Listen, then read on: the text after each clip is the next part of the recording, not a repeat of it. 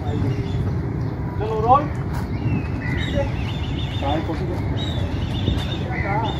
Role एक।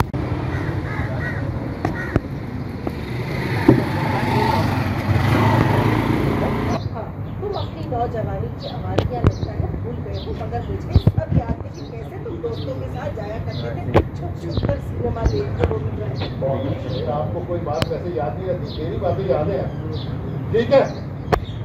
सब लोग जाओ लेकिन समीर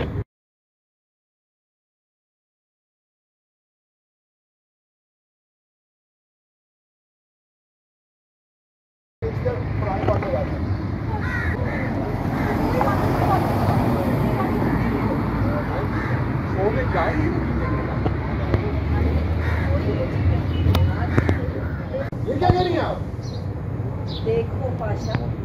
तुम बच्चों को हमेशा डरा कर रखते हो वो हमेशा सहमे रहते हैं अगर वो घूमने के लिए जाना चाहते हैं तो इसमें हर चीज़ क्या उनकी शक्लें देखो जरा मेरे मासूम बच्चे कैसे सहमे में हैं अगर वो घूमने जाना चाहते तो इसमें क्या हर्ज चीज़? क्या अपने वक्त में तुम अपने जवानी की आवाज़ियाँ भूल गए